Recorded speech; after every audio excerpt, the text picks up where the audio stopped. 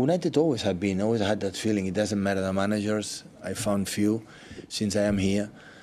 So always is a, a tough, tough opponent. The quality, the individually they have, and uh, in their stadium, the character, the momentum, they the ability to don't be maybe on top, and in 10, 15 minutes, it's splash, splash, and, and they score goals. So we know the quality they have. So no doubt about that. Always have been, always will be.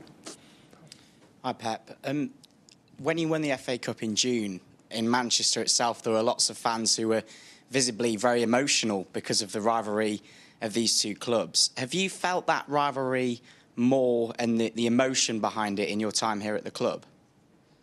Oh, it's okay. It's a good rivalry. I think it's